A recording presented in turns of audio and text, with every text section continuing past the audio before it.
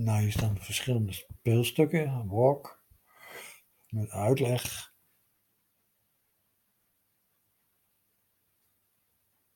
Regent het? Oh, ik moet eventjes uh, de deur doen. En hier is het speelstuk, theorietoets, awake. En hier staan de verschillende speelstukken. Dat is heel leuk. Het is uh, leuke begeleiding, maar er is ook een cd bij. En dan heb je wat, ja, zeg maar, wat bredere begeleiding heb je erbij. Full House. Nou, reggae, die is ook erg leuk. Die kan je samenvoegen met uh, Toccata van uh, Bach. Een D mineur. Even kijken, keyboard opdrachten. Nou, dan heb je natuurlijk de verschillende theorie over de blues, hoe je de blues speelt. En hier speelstuk de blues, ook erg leuk. Uh, Pirates of the Caribbean en Note Flight. Dat is een leuk programma waarmee je noten op kan schrijven en een begeleiding erbij. En kan uitprinten. Gitaarakkoorden, een keyboard, toetsen.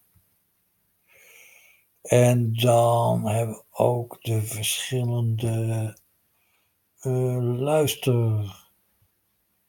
Hier een luistertoets, maar dat stelt niet al te veel voor. Maar ik vind deze wel mooi. De. Even kijken. Deze sowieso. Uitleg van de, het notenschrift.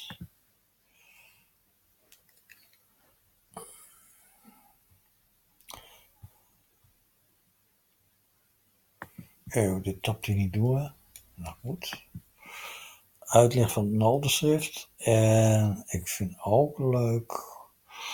Uh, de vroege meerstemmigheid krijg je dan natuurlijk ook allemaal. Maar ik vind ook leuk muziektrainers. Maar ook de luisterstukken. De luisterstukken, bijvoorbeeld de, de Vlucht van de Hommel. Van uh. Wie? Korsakov. Oh, die.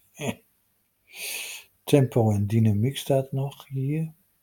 Werkblad. Dat zijn mooie dingen om te doen. Moet wel even een beetje voorbereiden. Je kan het niet zo voorklikken en dan op gaan. Ja, sommige docenten die kunnen dat natuurlijk.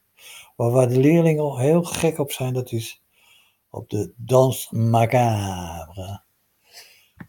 Die deed ik altijd rond uh, Halloween. Dan stop ik even hier.